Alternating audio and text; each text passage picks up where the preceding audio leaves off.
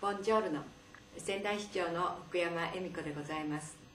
この度はイタリア国民の皆様ペルージャ市の皆様そしてペルージャ市長さんのご好意によりまして仙台のためのペルージャ震災復興支援に捧げる試合の開催のお申し出をいただき誠にありがとうございます。仙台市は3月11日に起こりました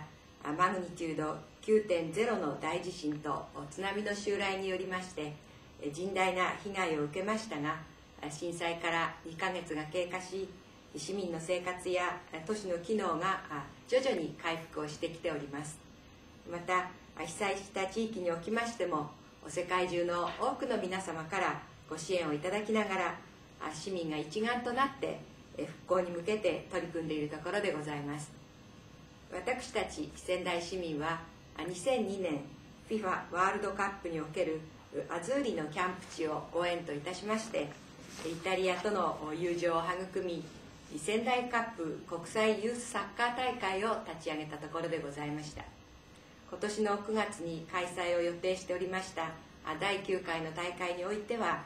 イタリアのアンダー18代表にも参加していただく予定でおりましたが震災により中止せざるを得ず大変残念に思っております。世界のサッカー界をリードするイタリアでのイベントは仙台日本の絆を深める